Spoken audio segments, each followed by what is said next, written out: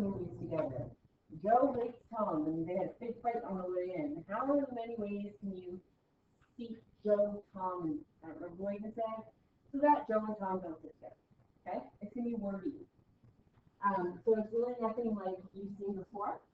It's one of the units that's also found in thirty two. Okay, so if you're in this and you're like, holy moly, I'm so far above my, I'm so far above my head, I have no idea what's happening. At least when you move to thirty two, you'll have a unit where later on you'll it. Okay, and go slower. If you're someone who's in your fifty to sixty-five range coming out of twenty one, um, and you start floundering, um, remember you only have a certain amount of time before you can flip over before you're hard to switch back and forth down. Okay? Um, or you might be like, hey, I feel like I'm floundering. I'll do my homework this year. I won't flounder. I think it's a suggestion. Really. Okay? So, here, the fundamental counting principle. You consider a task made up of several stages. If the number of choices for the first stage is A, and the number of choices for the second stage is B, and the number of choices for the third stage is C, etc., then the number of ways that task can be completed is A times B times C times however many more tasks there are. This is called the fundamental counting principle. It'll make sense when you actually use an example. So we have a toy manufacturer and makes a wooden toy in three parts. So here's the three parts that make the one toy, right? So if I have three parts that can make one thing, use fundamental counting principle. First off, we're going to prove through a tree diagram that actually works. So, part one, the top part can be red, white, blue, or pink. Part two, the middle part can be orange, purple, or black. Part three, the bottom part can be yellow or green. Determine how many different colored toys can be produced using a tree diagram. So tree diagrams, I find people um, do them wrong every single time, and I used to do this too. They'll use part one and then split part two, split part three, split. What you do with these parts is you write them along the top. So I'm going to write part one first. And my options for part one are red, white, blue, or pink. Now, in between each option, red, white, blue, or pink, leave a space because you're going to have little branches off of that. And if you don't leave spaces, you're going to it's going to be too tight by the time you get to part three. Okay? So we're going to do red, we're gonna leave space, white, leave space, blue, okay.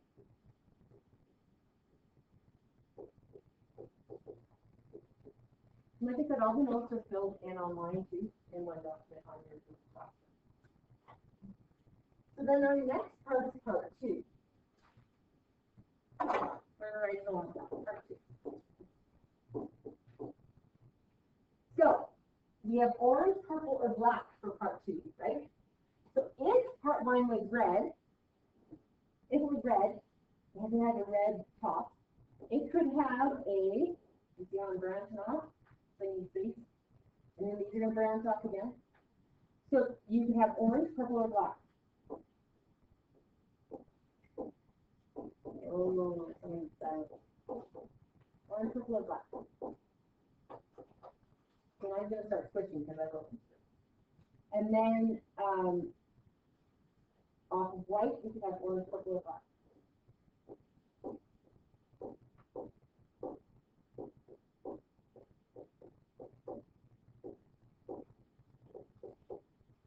And off of blue.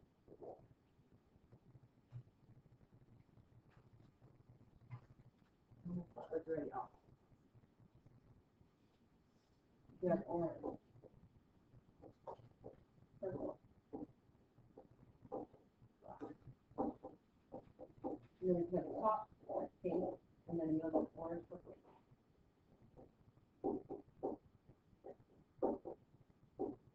So actually, if this toy only had two parts, the top and the middle, um, we'd have one, two, three, four, five, six, seven, eight, nine, ten, eleven, twelve different toys. we could be red and orange, red and purple, red and black. White and orange, white and purple, white and black, right? If we stop here. But we don't stop here, there's a part three.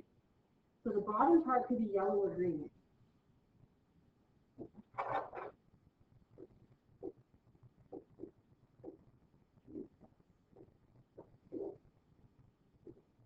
Yellow, green, green, yellow, green, yellow, green, yellow.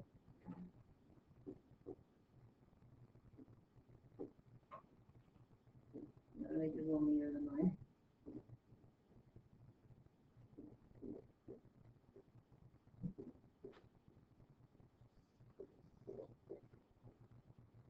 Front word is off. Writing with an inch lower than one.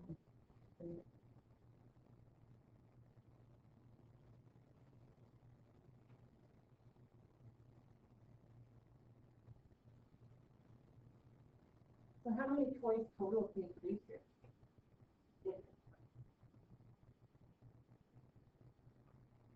technically just count all part threes, right? Because that's where you that. It would be red top, orange, middle, yellow bottom. Red top, orange, middle, green bottom. Red top, purple, middle, yellow bottom. Red top, purple, green bottom, right? So one, two, three, four, five, six, seven, eight, nine, ten, eleven, twelve, fifteen, seventeen, nineteen, twenty, twenty-one, twenty-two, twenty-three, twenty-four. So we have twenty-four different toys.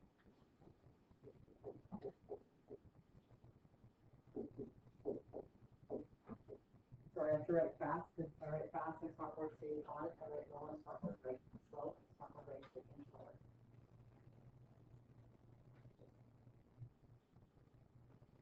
Okay, now, time consuming, but not the absolute worst if I just have two options, right?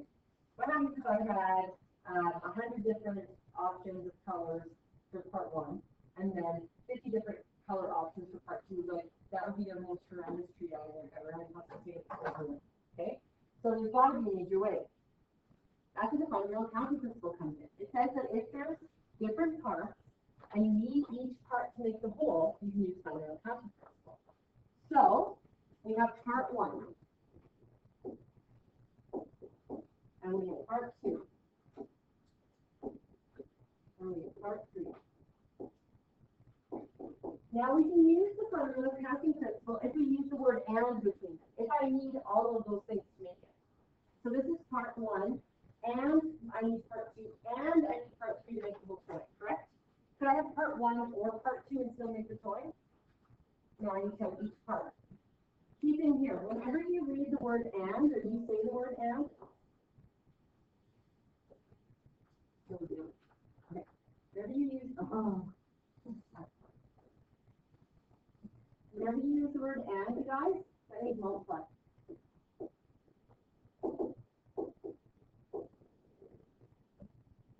So I need this part. And part two and part three, so I'm gonna multiply. If you use the word or, it's add.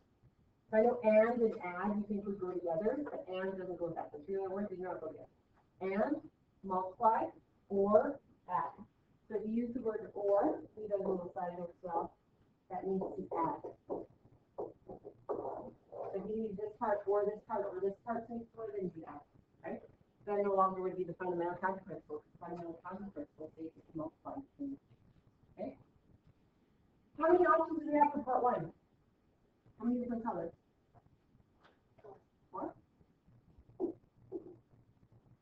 part two demo, how many different colors? And part three night. So if I go 4 times 3 times 2, 24.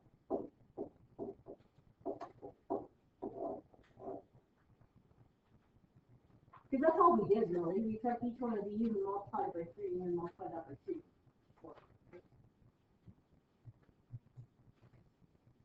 Maybe I need.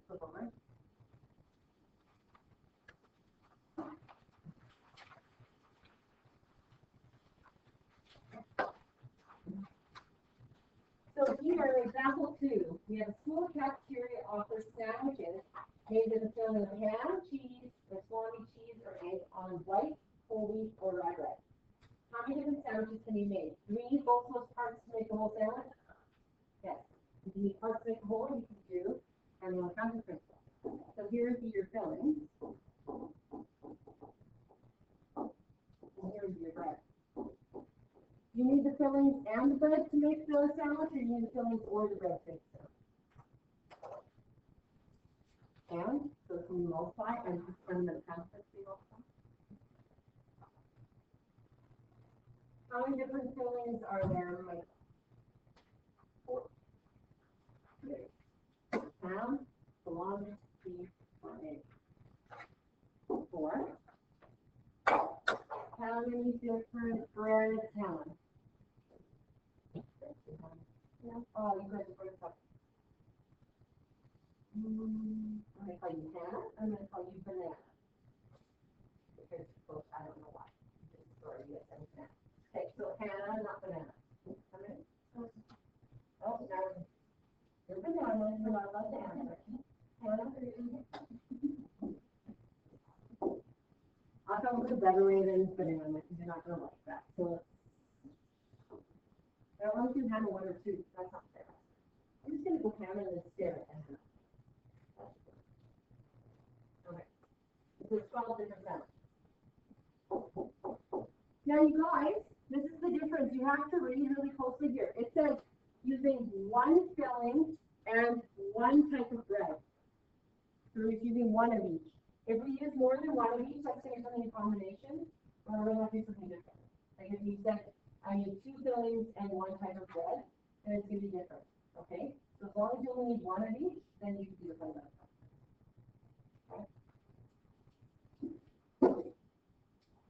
All right. Read a math thirty quiz consists of eight multiple choice questions.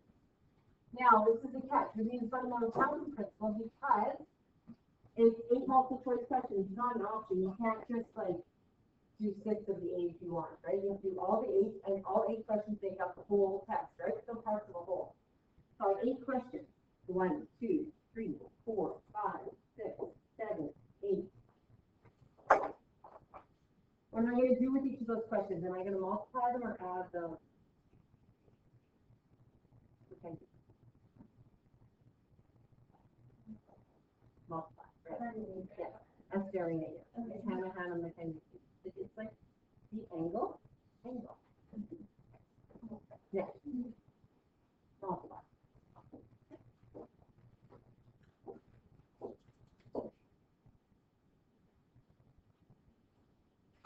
Okay, if you want to specify it more so that when you go back to your notes, you know why the heck you even wrote down blanks. You go like this, this is number one, question number two, number three, number four,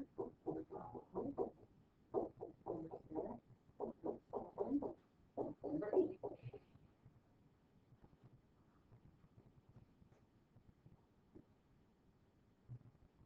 Each question has four choices, A, B, C, or D.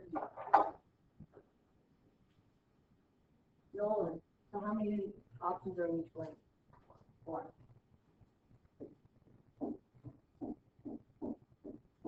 Some people say that this is, um, eight times four.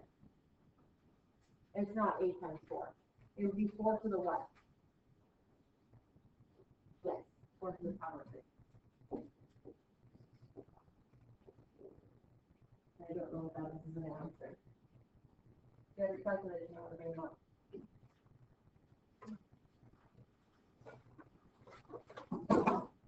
Sixty-five thousand five hundred and thirty.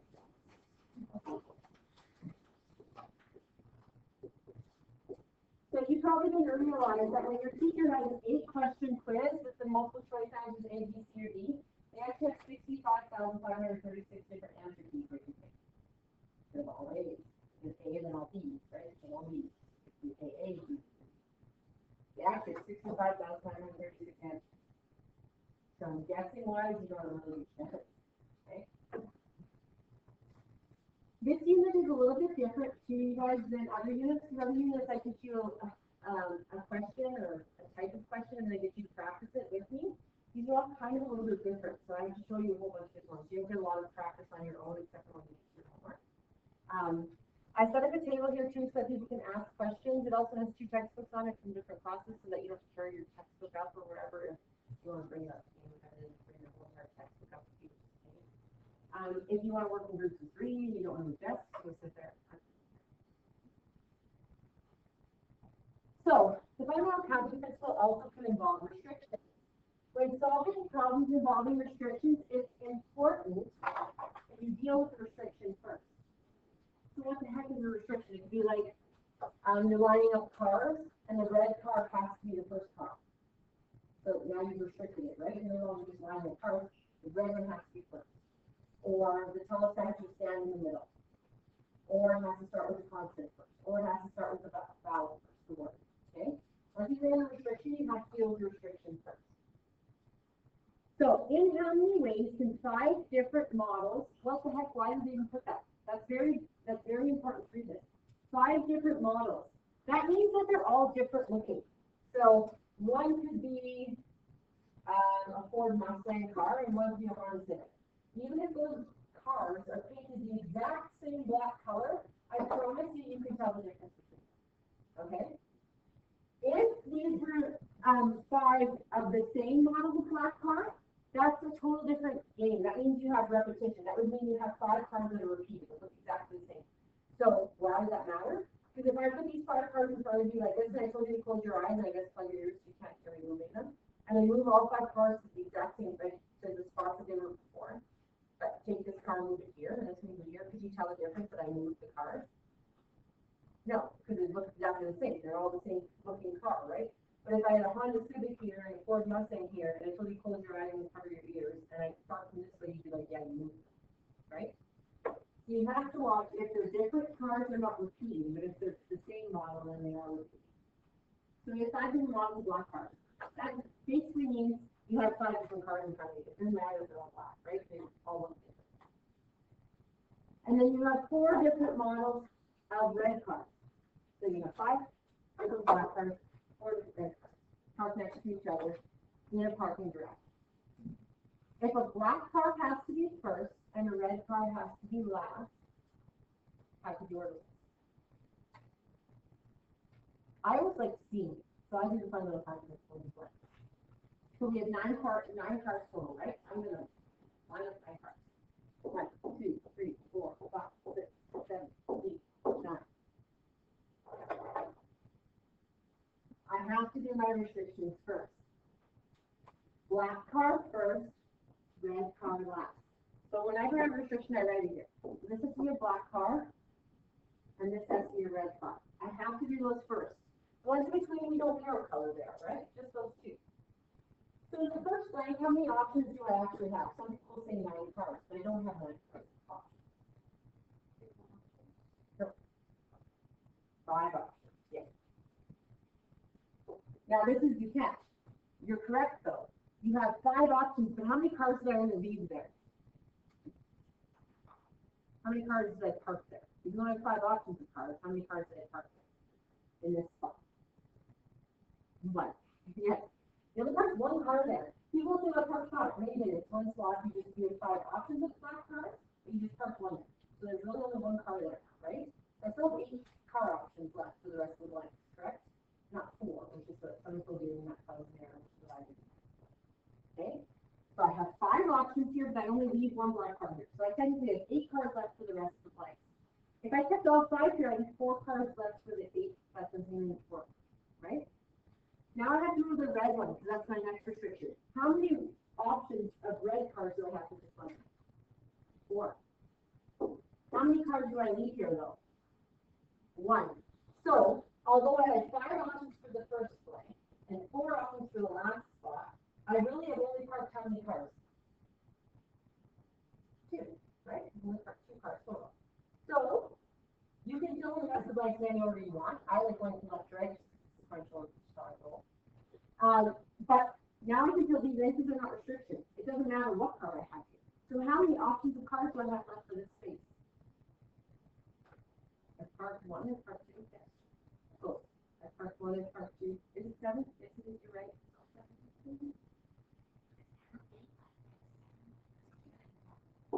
Bad enough. Okay, you're correct. Because I took two off of the total of nine, but my head up in ten. There's seven left. Now I park one of those seven. How many do I have left? Six. Then I park one here. How many have left? Five. Then four. Then three. Then two. Then one. Okay? Because it was nine cars, I say, oh, that was ten. It's only one. So I left, I had five options of black here, but I left one. I have four options of red here, but I left one, so I have left two cards here, I have seven left. Seven, then I leave one, six, then I leave one. five, four, three, two, one, right? Now let's decide, are we multiplying them or adding them? Do we have this card and this card and this card and this card and this card and this card and this card and this card and this card card? Or do we have this card or this card or this card card? It's gonna be an and. If you say or, you could, only have one card card, right? We're parking all of them, We're parking this card and this one and this one and this one and this one, and because it's an and, we multiply. Now, there is a little quick button in here that can help you. Instead of going five times seven times six times five times four times six, you can do that. Calculating is. Um, but there's something called a factorial, and the factorial symbol like an exclamation mark. And you use a factorial symbol that when you go from any number and decrease by one times until you get one. So, for example, six factorial, which would look like this, represents six times five times four times three times two times one. A hundred factorial would represent hundred times ninety-nine times ninety-eight times ninety-seven times ninety-six all the way to one. Okay? So is there, is there anything here that I can maybe represent with a factorial rather than going this times this and this? Yes. So we could go five times seven factorial times four, or we could write it as twenty times seven factorial, right? Because five and four put together. So when you started a number and count down by one, so you get to one, you put a factorial. So, what do you calculator? Twenty times seven factorial.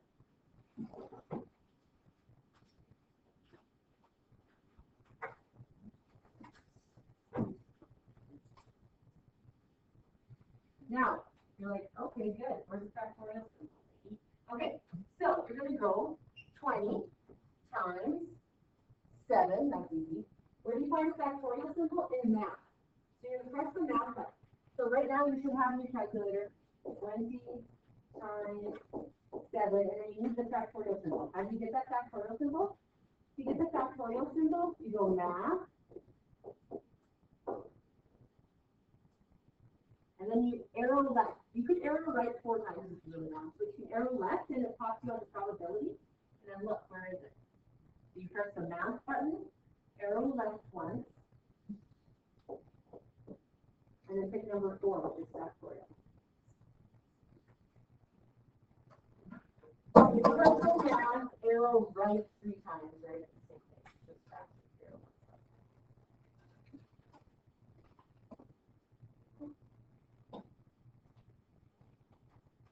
What do you get for answer?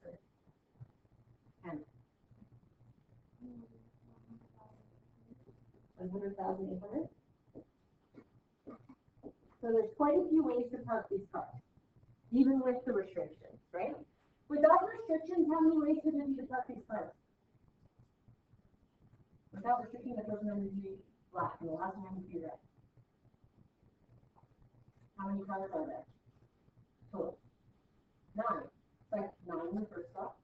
Eight, seven, six, five, four, three, two, one. It would just be nine back order. No restrictions would be, nine over one. Okay. Eric has been assigned the task of determining how many odd four-digit numbers there are. So here's some words, we need to actually know what that means for you. What's a four-digit number, an example of a four-digit number? Wanna know? Know? Example of four. Is ten four-digit number? Is three a four-digit number? Four hundred a four-digit number?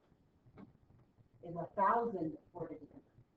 Four-digit number means you have four digits to make up the number, right? A thousand would have one, zero, zero, zero. That's a four-digit number. So we know we have four blanks. Whenever you read four-digit number, or three-digit number, or two-digit number, that is a fancy way of saying your first number can't be zero. Why can't your first number be zero? Well, if I'm saying I'm paying you a four-digit income, let's say, right? And I say, okay, I'll pay you thousand dollars. Like, "Hmm." If I say, okay, I'll pay you zero, three, zero, zero dollars, you'll be like, that's three hundred dollars, that is a three-digit number, no matter how many zeros you put in front of it, that is still not a four-digit number, you're not paying me enough money, right? So if you want a four-digit number, your first number has to be a number other than zero. If it's a zero, it's actually a three-digit number with a zero it, right? So the moment it says four-digit number, that means that your first digit, the first digit can't be zero. So that's a restriction. They're not gonna say to you, I want a four-digit number and the first number can't be zero. The moment they say four-digit number, they hint to you that the first number can't be zero. Don't forget on your quizzes and tests, that's the very, common error that I wrote that, because the first one is a zero, right? So I draw my four blanks, and I instantly go here and I draw a line for a zero and I say it can't be. Okay? It says an odd four-digit number. Odd four-digit number. How can you tell something's odd? What can you kind of to me how many tell it's odd? If I just say fifteen, you'll say odd. If I say fourteen, you'll say even. That is my two hundredth another one, which is correct. But by looking at the numbers, how can you tell something? If it ends in a one, a one, three, five, seven, or nine, an odd number. In order for a number to be odd, your back last number has to be odd, right? If I say fourteen, you say even. If I say fifteen, you say odd. Did I change the one in front at all? No. It's just that back number. If I say even, the back number has to be even.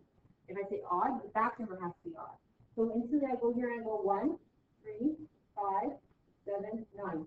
I like listing my options below the blanks until I get really good. So I always list my options. And then on the top, above the lines, I say how many options I have. So like, for example, the last one, I have five options, right? I have five different numbers I can fill that way.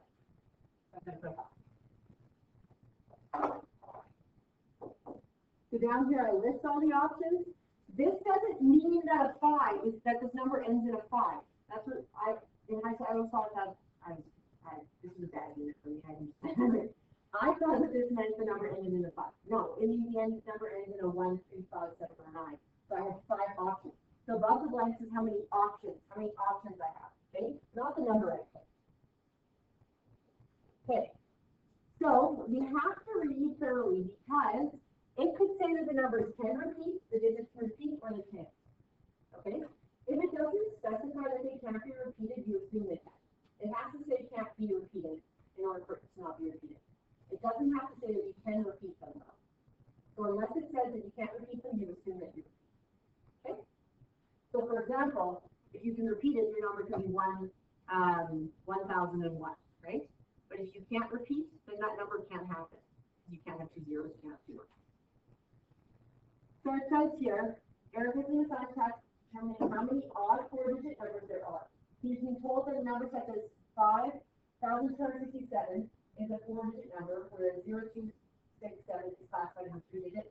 And it says here, they will never tell you the sum of the full number. When you hear two digits or three digits or seven digits, you need the first number can't be zero. Did they say here we can't repeat? No, so the number can be repeated. My number could be, um, one, one, one, one, okay? So, we always do restrictions first. So my first restriction is this can be one, three, five, seven, or nine.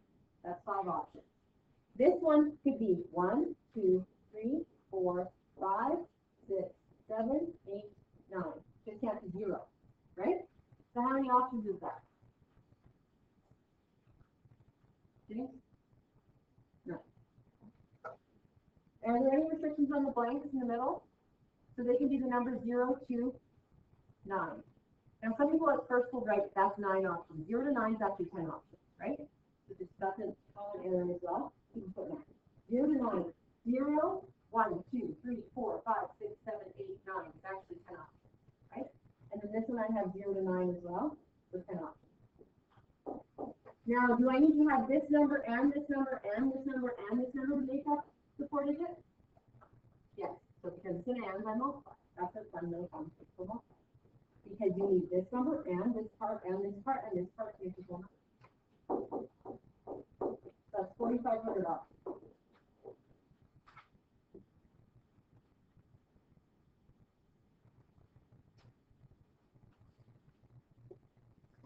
So here, same question, but, you can't repeat. So it says, Eric is not being assigned the task of determining how many odd four digit numbers, so the same before, there are which have no repeating digits. When it has no repeating digits, I believe it's extremely imperative to write the options below twenty. It will make life easier. So. That's my restriction. So one, two, three, four. This one can be one, three, five, or seven. Or nine. This one can't be zero, we know that much, right?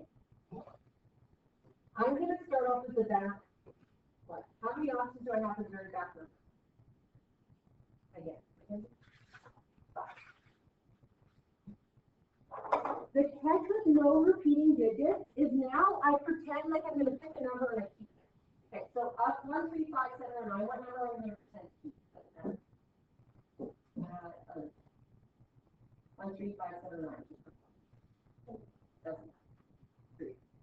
Okay, so now I've kept three here. If I've kept three here, it no longer can appear in anything underneath here, it can't be an option, I've used it up. Okay, if you picked one instead of three, you no longer could write the ones under these because you've used it up. If you pick nine, then you can no longer write nine under any of those blanks, does that make sense? So it doesn't matter which one you pick, I just circle one and pick it. Don't spend lots of time deciding. Okay? So now I have three there. I can't have zero here, so let's list the options I have left. One, two, I can't list three because I to keep it there. Four, five, six, seven, eight, and nine. So instead of having nine options for my first blank, how many do I actually have? Eight. Now, once again, I have to pretend to keep one of them here. Sam, what do you want to keep? Um, Doesn't matter. One, two, four, five, six, seven, eight, and nine. Okay, I'm pretending to keep four. So now four is here. I can't use it, right? So now for this one, I have one, two, five, six, seven, eight, nine. What can I not forget? Everyone forgets this, because this question. You also have zero. You didn't use zero here. Is off. You couldn't use zero here. You couldn't. You have zero here. Everyone forgets you still have zero. You haven't used it, right? Because you weren't allowed to. so You had the option. So, one, two, three, four, five, six, seven, eight. I can't tell you how many people go eight and seven, right? Just because you forget. If you're someone who would have forgot that zero, you're writing a little note with a star note saying, don't forget this. You're so existed. I would have forgotten this. Give yourself a little note with a star, right? So when you go back, you, these are actually useful to you, okay? Always, always, always in your notes, mark stuff that you would have made oopsies on. Right? Now, yeah, which one do you want to keep there? Okay? So now I have one, two, six, seven, eight, nine, and still zero, so have seven options. And I'm gonna pretend it's a one. So one of the options could have been four, five, one, three. Did any of those repeat? No, then you're good, okay? I like doing the circling boxing thing just because then I can physically see what numbers I have left, okay? You could say, okay, well, I have five, I there was ten options here, I checked one here, I have a zero, so I have eight options. You can do that, that's absolutely fine, I find people make mistakes. Okay? Now, when it's an odd number, this is easier, when it's an odd number, you go to the back and one, three, five, six, nine. The next example, we're actually gonna do an even number, and an even number, you always get two. Okay? So. We're on to example nine for now, and we'll come back. Now to example nine. So this is an extension of example five. Eric has now been told to determine how many even four-digit numbers there are. So what's the change here? Even four-digit numbers. Your back numbers can be zero, two, four, six, or eight, right? You have to watch yourself though. You always, always, always, if it's, um, this one here, we can repeat, it doesn't matter. If when you can't repeat, then you're gonna get a- two cases. So let's do it where you can repeat, as soon as they can. So we have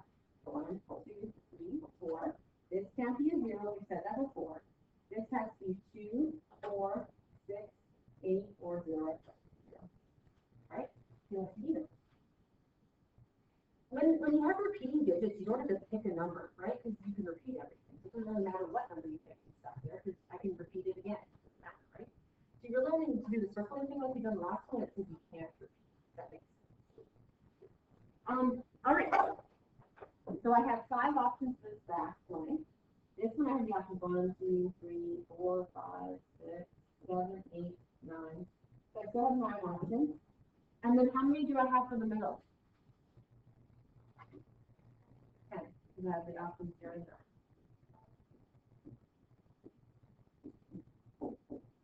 So not surprisingly, we have the same exact amount of even coordinate numbers as we have off, right?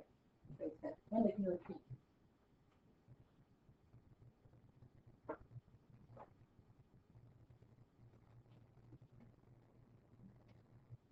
Now we have how many even four digit numbers where you have no repeated digits? Now, please don't write this part, just watch.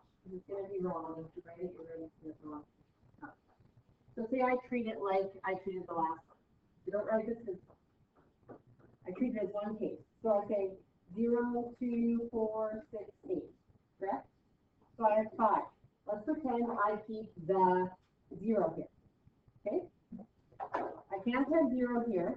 So I have one, two, three, four, five, six, seven, eight, nine. I have nine options. So I keep the one here. Now I can have a zero here, correct? Zero, I can have what, two, three, I can, yeah, I can have zero, so that's covered zero already, right?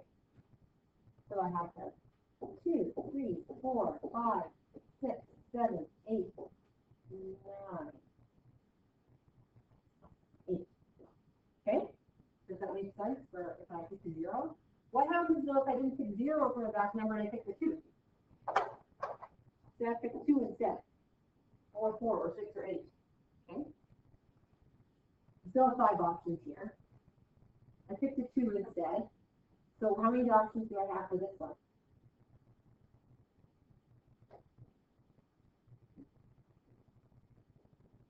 One, two, three, four, five, six, seven, eight, not nine anymore, right? What could come back here now? The two's out, right? Let's say the one's out, but now a zero could come back here. You'd have to do two cases. You have to do a case where the back number is zero, or you have to do a case where the back number is two, four, six, or eight, because it totally changes your number options. You have to always do two cases when it's no repeating digits. When it's even, only even. If it's odd, you don't do this. If it's even because of the zero, you have, and no repeating digits, you have to do two cases. It is not an option. You have to do two cases, because now it's like, oh, the two, it changes the volume if you pick a zero or if you pick a two, four, six, or eight. It totally does. So, and you'll see in a second. do. So case one. Back number is zero. Case two. The back number is two, four, six, or eight. Whenever you have cases, you add them, you add the answers, and this is why. Because you have this case, or you have this case. You can't have both cases, or you'd actually have two four-digit numbers? You have this case or this case, and because you use the word or, you're gonna add the cases. So the moment you have two cases, you have to add them, because you have this case or this case. If you have both cases, you actually have two four-digit numbers, and they don't ask you to find two four-digit numbers. Want. All right, let's do them separately then. Let's, let's do this one first. Both of these count to the zero starting.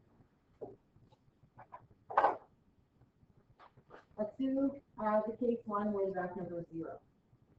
How many options do I have for this one? One. I have zero. Now zero stayed there, it's the only option I have. Okay? Then I have one, two, three, four, five, six, seven, eight, nine. So I have nine options. Uh, I'm gonna pretend to keep one here. Now, if use of zero, I use of one, so I have two, three, four, five, six, seven, eight, nine. Which is one, two, three, four, five, six, seven, eight. Use of zero, use of one, I'm gonna pretend it to the two here. Now I have three, four, five, six, six, seven, eight, nine, seven, nine. What's nine times eight times seven?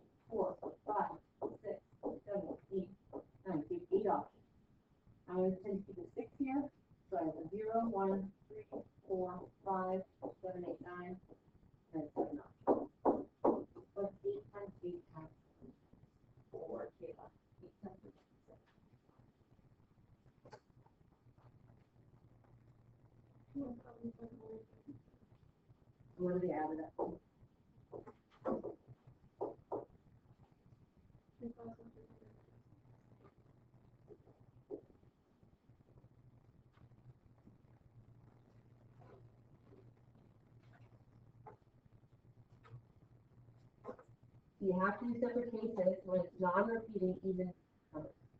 Even four. Okay, because it's a zero problem.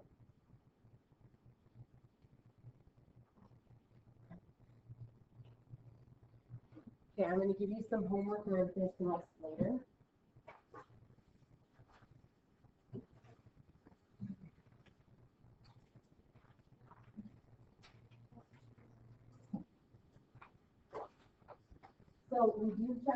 first this year. Um, he's the very last one.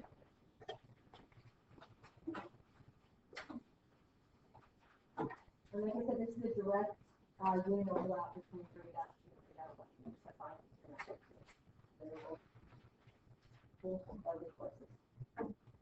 So on page 524, right on page 524,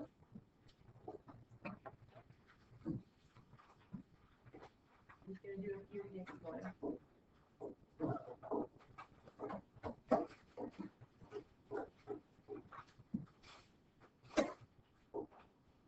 Number one.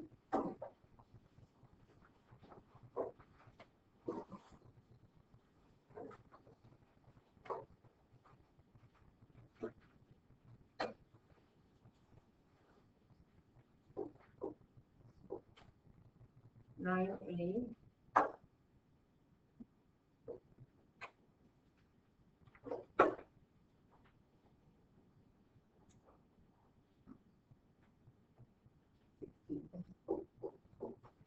really rare to have this little, but it is your first day on the unit.